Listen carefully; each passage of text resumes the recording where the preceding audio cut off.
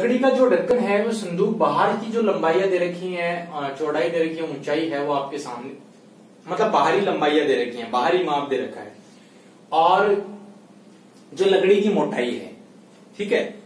जो लकड़ी की मोटाई है 2.5 सेंटीमीटर है, और यदि जो एक घन मीटर लकड़ी का जो तोल है, वो 250 किलो है तो संदूक का तोल वेट ज्ञात करो। देखो, समझ में आई बात?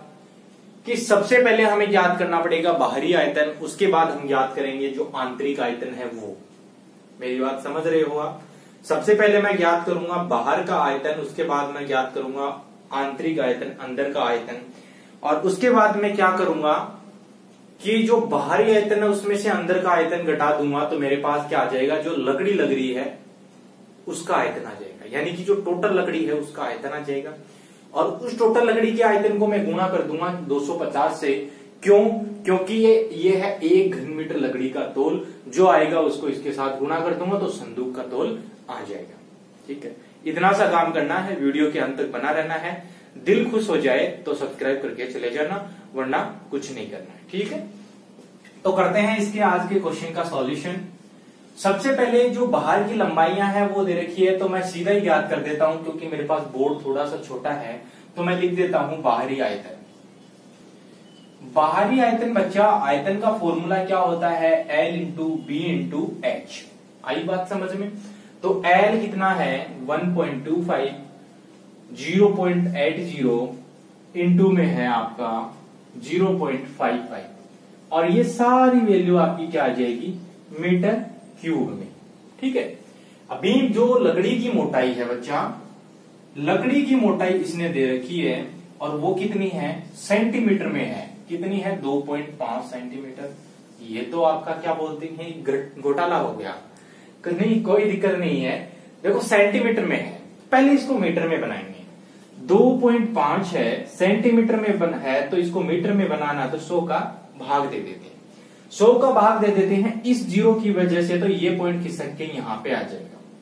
लेकिन एक ज़ीरो और बच गया तो इस ज़ीरो की वजह से ये पॉइंट यहाँ पे एक ज़ीरो लग जाएगा और यहाँ पे आ जाएगा। तो ये जो वैल्यू है वो आ जाएगी zero point zero two five और ये वैल्यू आ गई मीटर में।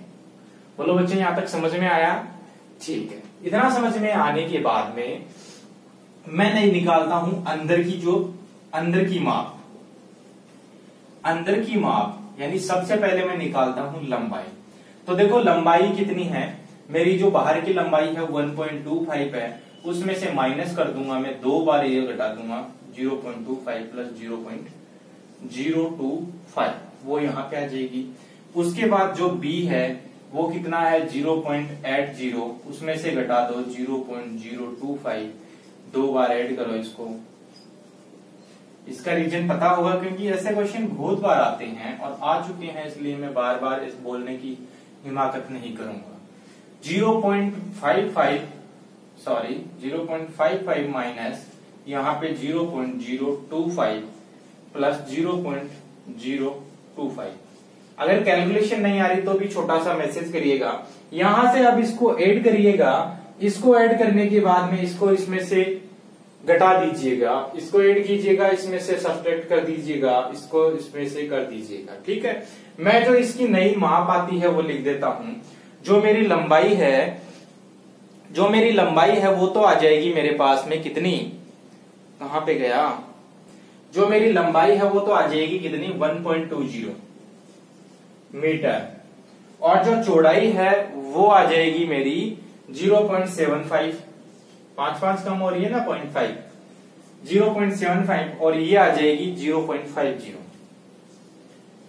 Zero point five zero metre और ये मीटर, ठीक है? अभी देखते हैं अब क्या करना है। मैंने क्या बोला था? जैसे मैंने बोला था वैसे ही चलूँगा, मिटा दूँ क्या? मैं मिटा देता हूँ इसको। आपसे क्या पूछना है? पेन कॉपी साथ में रखा करो, ठीक है? क्योंकि वो चीज़ ज़्यादा ज़रूरी है। साथ साथ लिखोगे ना तो ज़्यादा बेटर फील होगा। ये मेरे पास नई लंबाई चौड़ाई ऊंचाई आ गई, यहाँ से मैं सबसे पहले ज्ञात करूँगा जो अंदर का आयतन है।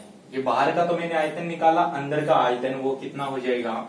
1.20 point two zero into zero point seven five into zero point five zero. और ये सारी वैल्यू है, वो भी मीटर क्यूब में आ जाएगी। तो अभीष्ट आयतन लिख दो, या फिर लकड़ी का जो कुल आयतन है, वो लिखोगे तो वो क्या आएगा? जो बाहरी आयतन है उसमें से लकड़ी का आयतन अंदर वाली का घटा दो।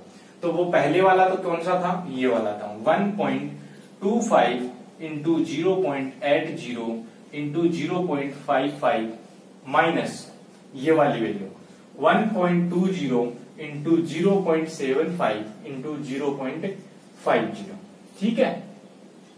ये जब इसका सॉल्यूशन किया जाएगा ना बच्चा तो वो मेरा मान है मान है ना, वो कितना आ जाएगा? ज़ीरो पॉइंट एक और ये आयतन निकाला है तो ये आएगा मीटर क्यूब में। यहाँ तक चीज़ समझ में आ गई ना तो पूरा क्वेश्चन नहीं हुआ अभी तक, क्योंकि अभी एक नंबर कट सकता है वो कैसे? क्योंकि हमें जो पूछा है, हमने तो वो निकाला ही नहीं। ये तो हमारा क्या आया है? जो लकड़ी का तोल है वो 250 किलो है, ये तो मेरा आयतन आया, लेकिन संदूक का तोल हमें निकालना है। मैंने क्या बोला था? जो मेरा आयतन आएगा, उसको क्या करूँगा? इस तोल से गुना कर दूँगा ना तो वो क्या आ जाएगा मेरा? क्या आ जाएगा? वो आ जाएगा कुल संदूक का तोल। तो यहाँ से देखिए, संदूक का कुल तोल बराबर जो मेरा मान आया है ज़ीरो पॉइंट एक गुना, इसको इससे मल्टीप्लाई कर दूँगा। तो यहाँ पे कितना आ जाएगा? ये ज़ीरो इसकी वजह से हट जाएगा और ये वैल्यू मेरी मल्टीप्लाई करने के बाद में आ जाएगी ट्वेंटी फाइव के जी क्वेश्चन समझ में आया होगा? नहीं समझ में आया तो बच्चा कमेंट कर देना। काफ़ी अच्छा क्वेश्चन है, ऐसे क्वेश्चन ही पूछे जाते हैं, ठीक है?